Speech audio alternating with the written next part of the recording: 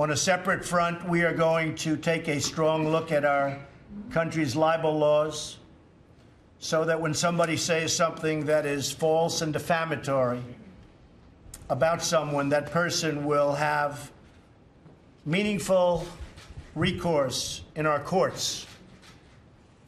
If somebody says something that's totally false and knowingly false, that the person that has been abused, defamed, libeled, will have meaningful recourse.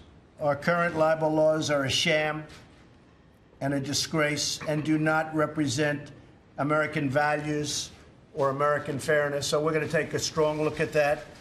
Uh, we want fairness. Uh, you can't say things that are false, knowingly false, and uh, be able to smile as money pours into your bank account. We're going to take a very, very strong look at that. And I think uh, what the American people want to see is fairness.